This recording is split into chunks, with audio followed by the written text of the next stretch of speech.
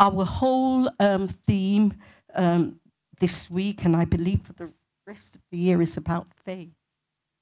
And this, this is not me. Somebody, I, I pinched this from somewhere because I thought it was nice. It sounded cute. I'm always after cute sayings. It says, faith hears the inaudible. I don't know where it came from, original.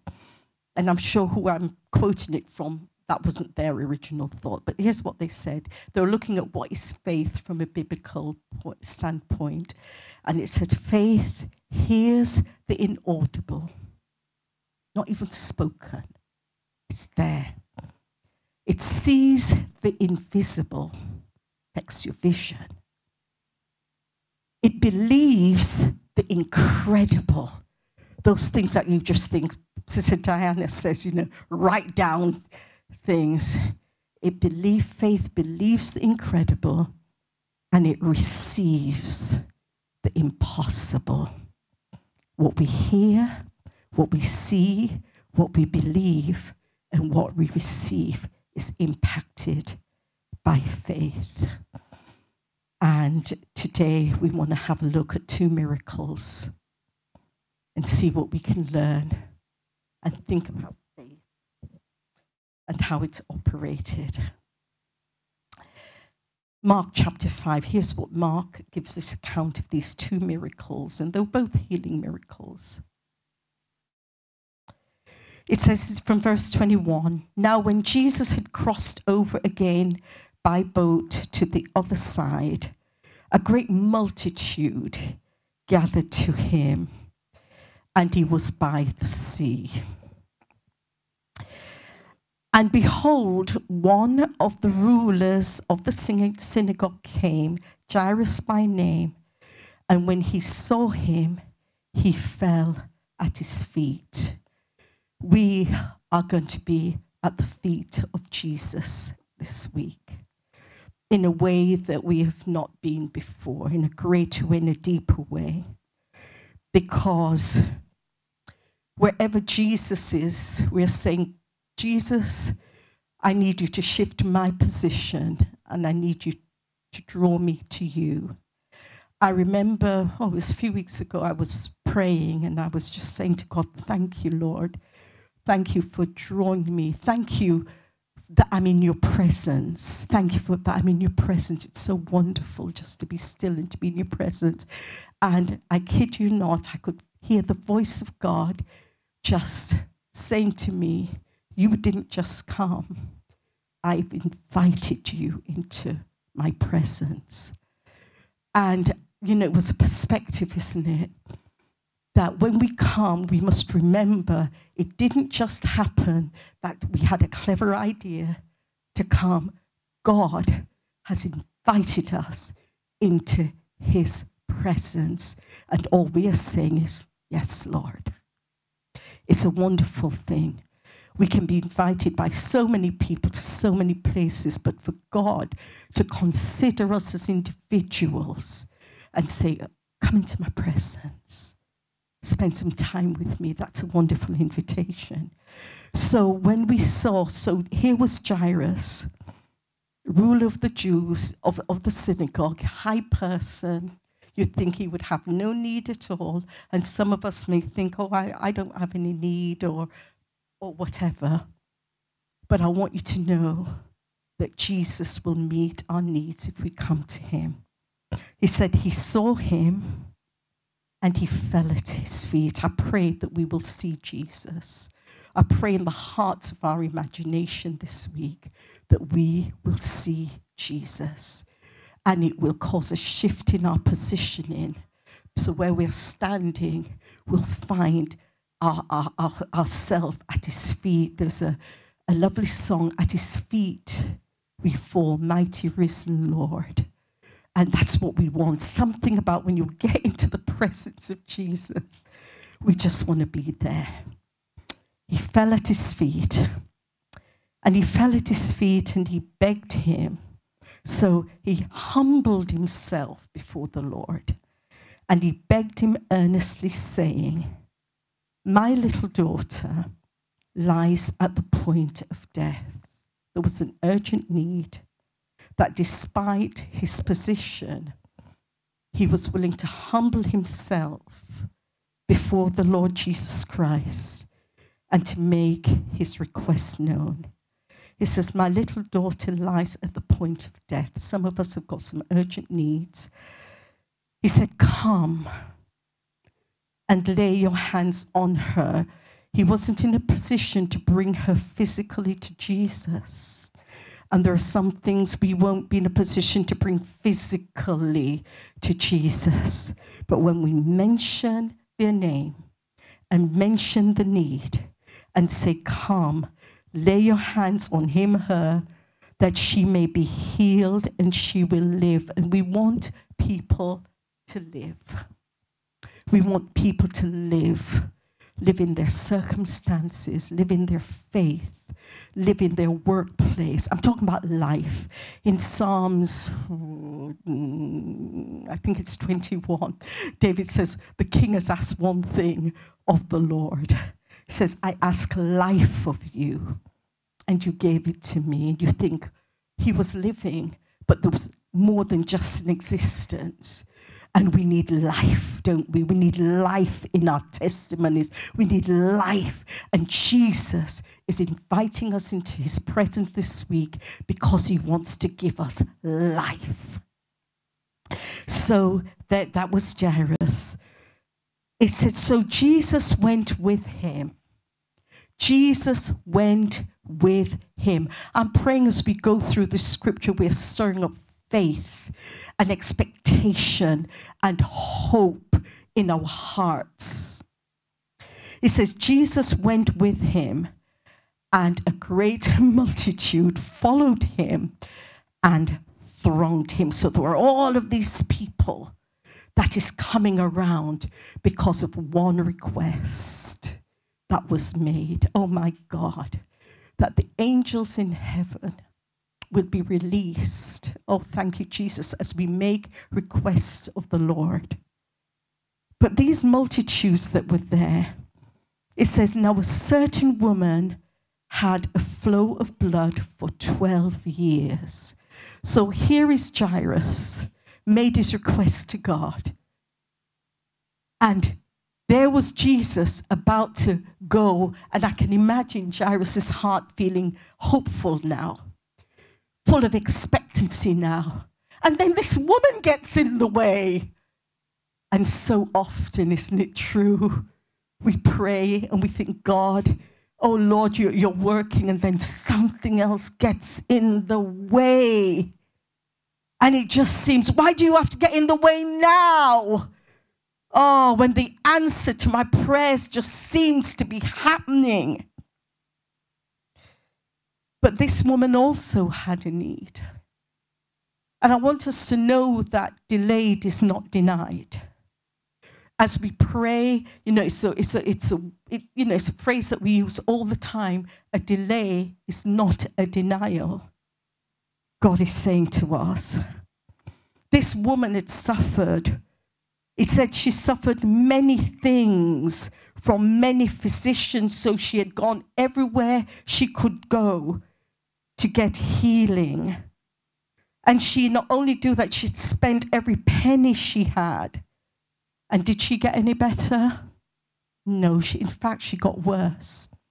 And how many things in our lives have we tried to solve? And this week of fasting and prayer, we can think about all the things in our lives. And Sister Daniel started us off. There's a good list to start off with. Those things that we, you know, expected those things that we want, things for the future, things that are happening now. That's a good starting point to pray for and pray into. And we often may have done everything that we can. It said, but she didn't get any better. And sometimes we pray and things seem to be worse. And when things get worse, it's easy to be discouraged. We ban discouragement in the name of Jesus. We ban complacency in the name of Jesus because what discouragement does, it causes us to be complacent, think, oh, what's the point in praying again? You know, I've prayed about this so often, it's not happening. In fact, things seem to get worse. And complacency comes in. We rebuke that in the name of Jesus. Things may get worse, But then she heard about Jesus. Thank you, Lord. So Jesus now is making his presence felt amongst us, and he's saying, You know, TBL, I'm calling you. I'm calling you, and I'm inviting you into my presence. I didn't wake up this morning to preach this message, but I just feel that God is wanting those of us who've checked out to check back in and to know that He has great for us than we could ever imagine, than we can ever dream of. It says that when she heard about Jesus, I'm thanking God this morning that He is the one who knows how to bear our burdens, who knows how to resolve our issues. He's the one who knows us, who has a plan and purpose for us. You know, He knows. So when she heard about Him, somebody must have been talking about Jesus for her to have heard about Him. And don't underestimate the words that you have spoken, that I have spoken, that I have prayed into the hearts of lives of individuals that we know and that we love, the circumstances that we face. Don't underestimate their impact.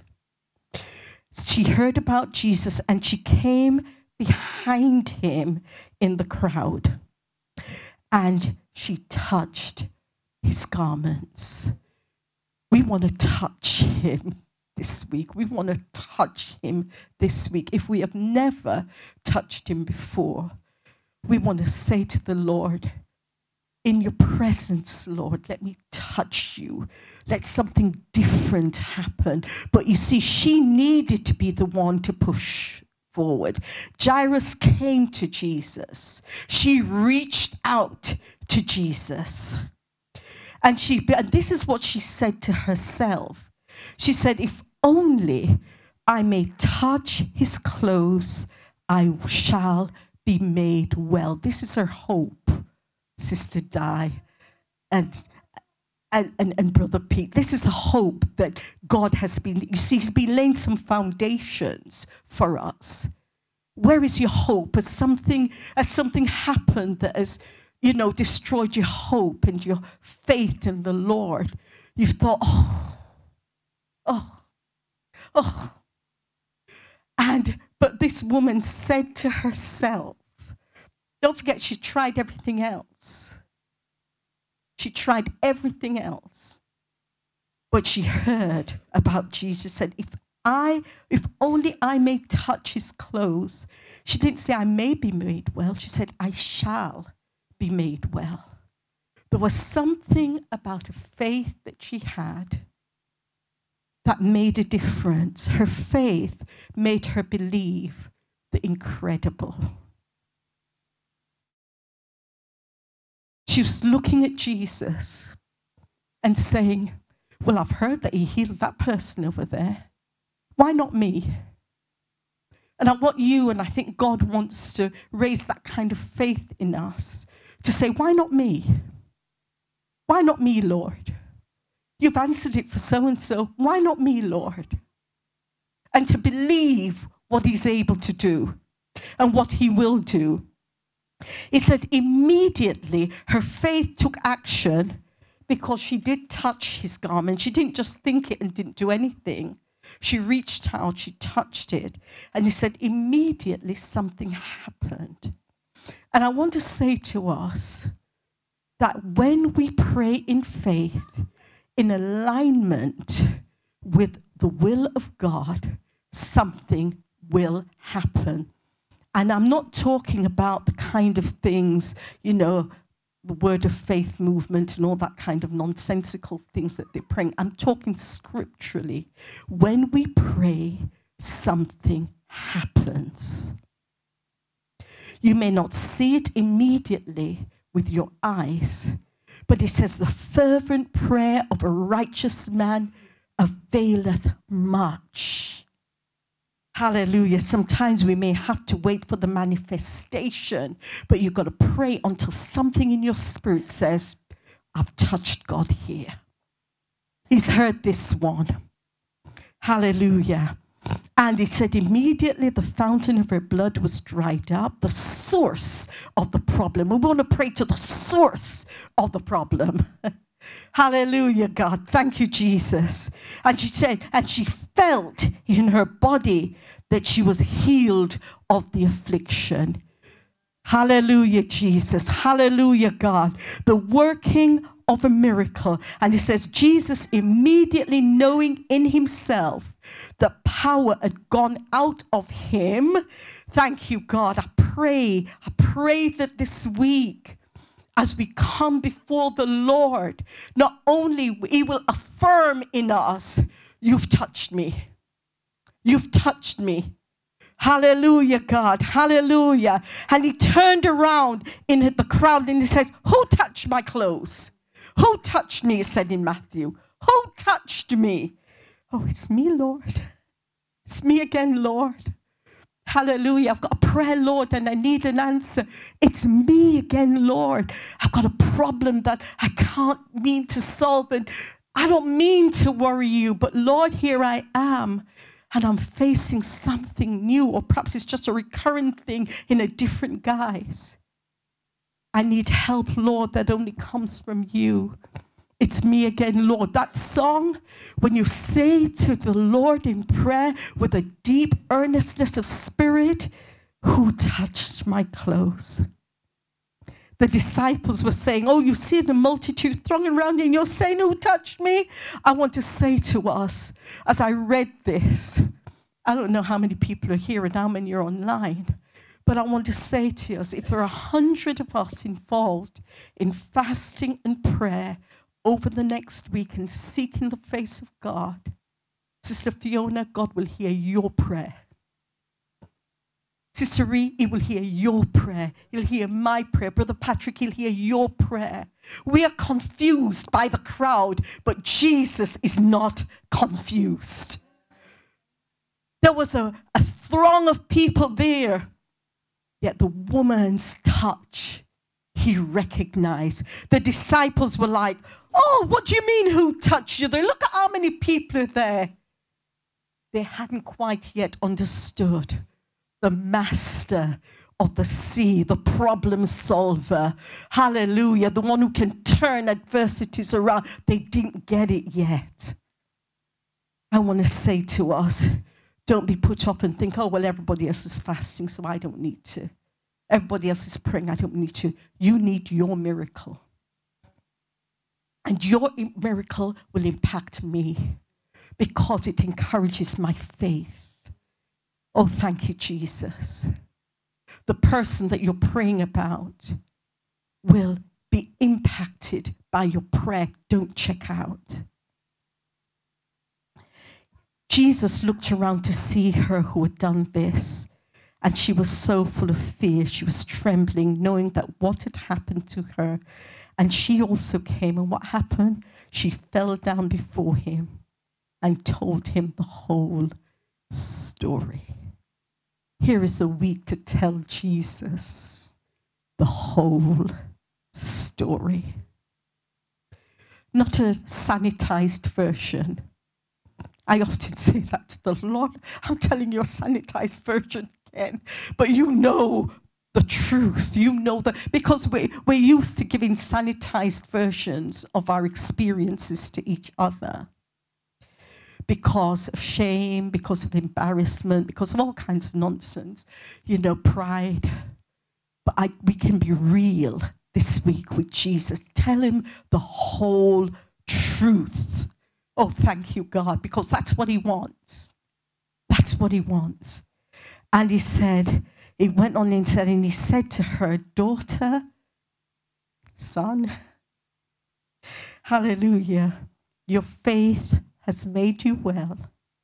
Go in peace and be healed of your affliction. There was a miracle that was now about to happen in her life. Her life was now going to be new. What I'm saying is, we need to make room for a new thing this coming week. While he was speaking, Then others came to him. Poor Jairus was still there. He was still there, hoping. There are many of us Jairuses who are still there, hoping. I want to know that God is going to come through for us. While He's working, Sister Rena, on your miracle, He's about to work on my miracle. Thank you, Jesus. Hallelujah. Thank you, Jesus. Hallelujah. He said, People came and were saying, Oh, don't bother the master. This is verse 35. Your daughter is dead. What's the point? You came and you asked, and he was coming, but he got sidetracked. Jesus is never sidetracked. oh my gosh. And he says, Why are you troubling him any further? There is no point. We need to say to ourselves, There is no hopeless cases before God as we come to him. As soon as Jesus heard the word that was spoken, he said to the ruler of the synagogue, Do not be afraid. You've got to believe. You're going to believe the incredible, and you're going to see what's invisible and you're going to receive the impossible. And when he came in, he of course came to the house, um, Jairus' house. There was a whole lot of people there causing chaos. Don't be distracted by the drama. Whenever we fast, whenever we pray, there's always going to be distractions that comes enemy is going to bring all kinds of silly things. And sometimes it's not the enemy, sometimes it's God. I, I, I keep saying he's peeling the onion skin. you know, the onions have got many layers, and some of us, we need to be peeled off. And it's uncomfortable. And we think it's the devil, but actually, it's God making us very vulnerable before him, mm. stripping us back a little bit but there are always, but the enemy will sometimes use that as a gateway of distraction when we don't know what's going on. When he came in, he said to them, Why are you making this commotion? The child isn't dead, the child's sleeping. You see, God is going to give us a new perspective this week as a church, as individuals. They saw a dead girl, Jesus saw a sleeping girl. There's some folks we think, oh, they're so lost. Oh, God, they're so lost. There's no way God's going to do anything with them. Who said so? Who said so? Are we going to now dictate the limits of what God will and can do to individuals? The devil is a liar. Our circumstances that are challenging, who said they can't and won't be better? Are we now gods of our life? God forbid. We serve and we belong to the true and the living God who has called us out of darkness into his marvelous light. Oh, hallelujah, Jesus. They ridiculed him, he put them all outside. Hallelujah. And God is going to close the door on those who are mocking and all those negative voices that want to speak into our minds. In the name of Jesus, no more. says he entered in, he took the child and said, Talitha cumi, I say to you, arise. And that little girl, she got up, she walked, and they were overcome with great amazement. This week, let it be the impact, there be great amazement at the testimonies of what Jesus is going to do for us.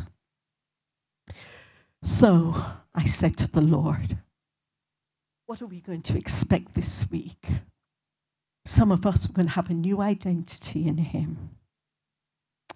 And I prayed and I said to the Lord, Let the fullness, let your fullness throw to us. Let us be restored in every area of our lives. Let fear and manipulation that has crowded us and intimidated us, let them be removed in the name of Jesus.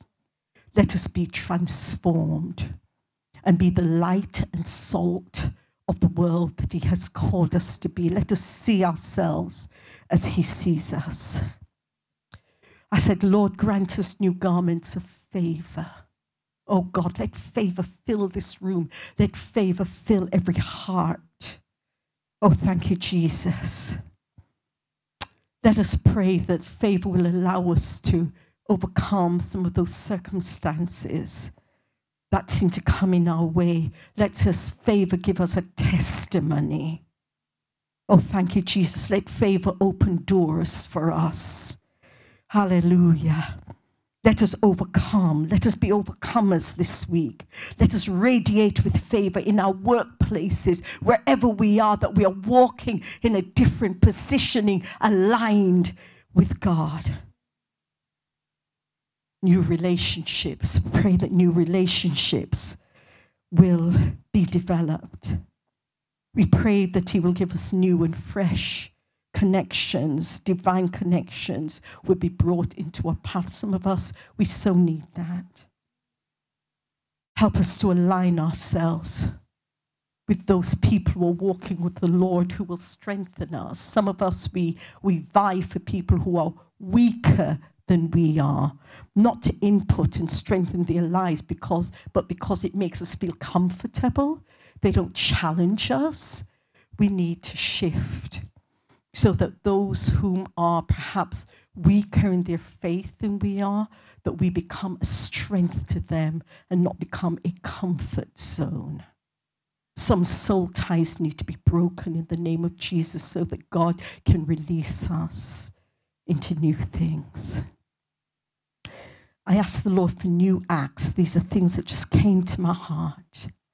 That we begin to expect to see the Lord divinely intervening in our lives, in every aspect of our lives, with signs, wonders, and miracles as we enter now into a new season coming out and through his presence. I want to say to us, and it's something that just keeps on everywhere I go, I, keep hearing it. So I'm thinking, okay, yes, Lord. You know, some of us has taken a holiday from God. I want to say we cannot take a break from his presence. Okay? Um, at the ladies' conference, someone was talking to me, and you know, we were talking about roles and purpose. And sometimes, you know, we were saying because it's all about transition at the ladies' conference. And some of us, our roles have become our identity. Roles were never meant to be our identity purpose is what we are. So when our roles change, it doesn't mean, oh God, I can just sit down and relax. Thank God. Done my bit. Don't need to do no more. No. Or I don't want to be involved in that anymore. I used to do that. They've taken over from where I was. What happens is we become the pennies that Sister Mapufo many, many years ago explain that we are. We become the pennies in the hand of God. So my role will change, but my purpose, which is to be used by God in wherever He wants me to be, that doesn't change. And some of us, we're being called back into divine purpose. The sound of victory will be upon us. A new anointing and a new authority will be released in us. I would like us, all of us, normally with altar calls, you know, we say whoever has a needs. I think that this today, every one of us, including myself, needs to be at this altar. And what we're going to do, we're going to put our hands out like this to the Lord, if you want. And in doing that, we're going to release. We're saying, Lord, here I am. Let my hands represent me, my works, my everything. Say, Lord, I'm releasing to you at the foot of your cross everything that's of the past to my present, all my worries, all my fears, all my everything. And Lord, I want to receive from you what I need, not only for this week, but going forward in your precious name because I can't do this without you. So if we can all stand and come to the altar. Hallelujah, God, I will.